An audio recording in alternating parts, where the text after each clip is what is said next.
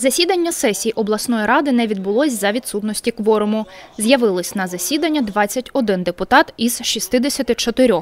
Після виступу головного поліціянта області Романа Коз'якова та очільниці області Марії Чорної голова облради Сергій Шульга повідомив про замінування будівлі облдержадміністрації.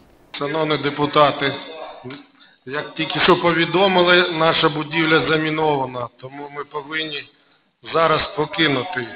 Сесію зірвали ще до замінування, вважають депутати.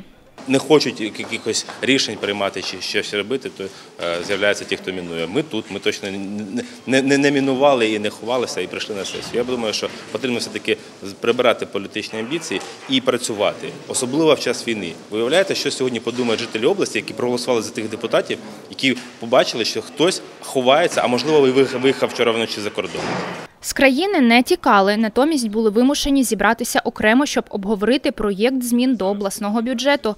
Це саме ті питання, які до порядку денного на сесії не включили, кажуть голови депутатських фракцій Європейської солідарності за майбутнє та батьківщини. У практиці такого не було, щоб питання, які виносилися на сесію обласної ради, щоб там не було бюджетного питання. Адже головним документом є любої сесії і в цілому життєдіяльності е, нашої області це є обласний бюджет. Нас не почули вчора, нас не почули на, погодж... на погоджувальній раді, президії.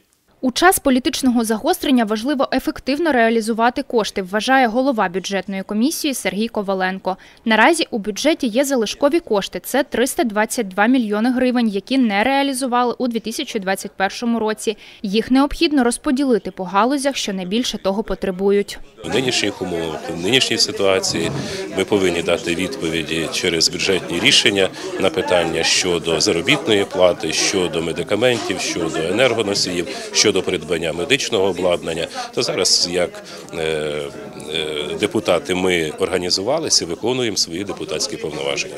Тож під час засідання оформили колективне звернення, у якому закликали керівництво області провести бюджетну комісію, а за її результатами назначити сесію на початок березня. Наразі звернення підписали майже три десятки депутатів.